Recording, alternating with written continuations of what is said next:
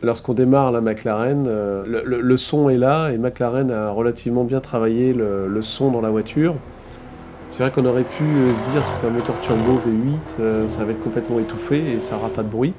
Et là, je pense que McLaren a, quand même pensé à ses clients quand ils vont en circuit, c'est de garder quand même une sonorité présente à l'intérieur de la voiture. Quand on prend la piste, là on s'aperçoit que l'auto est relativement légère.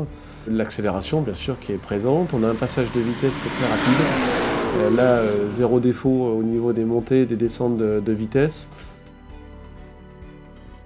Alors euh, sur l'aspect moteur, la McLaren donc avec son V8 turbo a énormément de puissance, hein, tout le monde le sait, c'est vraiment une voiture qui part très très vite quand on met le pied à fond sur l'accélérateur.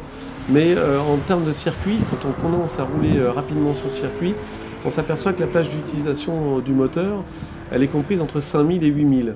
Ce qui fait une, plage d'utilisation euh, bon, de 3000 tours, plutôt réduite. Et là, je me suis retrouvé entre la deuxième et la troisième. En deuxième, un peu haut dans les tours, et très rapidement au rupteur pour mettre la troisième, ou en troisième, en dessous 5000, et avec un manque de, puissance euh, bas régime. Si on, peut appeler ça du bas régime, parce que c'est quand même 5000 tours. Et c'est vrai qu'on demanderait à la McLaren, euh, du fait que ce soit une supercar, d'avoir une plage d'utilisation moteur un peu plus importante. Aujourd'hui, euh, la McLaren était chaussée donc en, Pirelli Corsa, donc des pneus autorisés bien sûr sur la route.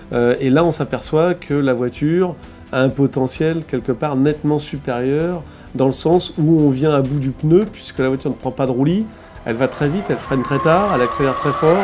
Il faudrait encore des pneus plus performants pour vraiment utiliser tout le potentiel du châssis, du moteur et des freins de, la voiture. La faculté en fait, de cette supercar à aller vite, c'est tout simplement que la voiture est légère, elle a énormément de puissance et elle a un châssis qui euh, donne ce qu'on a besoin.